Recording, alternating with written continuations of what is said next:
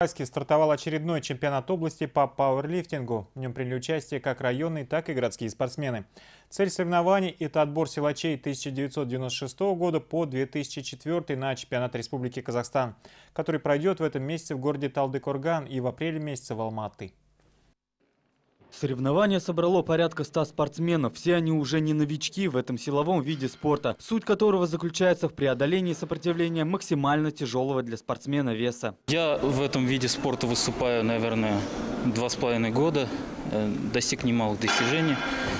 Был чемпионом области, э, выполнял мастер спорта, ездил на соревнования чемпионата Республики Казахстан два или три раза. Напомним, что участвовать могут как мужчины, так и женщины от 13 до 70 лет. Но сегодня соревнования прошли среди мужчин. К сожалению, сегодня не всем участникам удалось поднять вес, который им был задан. Напрягаться все-таки не стоит, ведь могут быть нежелательные последствия. Проблема может возникнуть, это главную технику знать.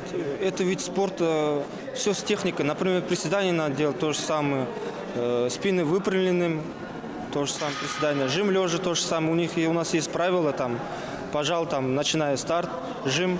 И когда как пожмет, он только когда скажет команда, главный тренер, стойка, тогда ставит.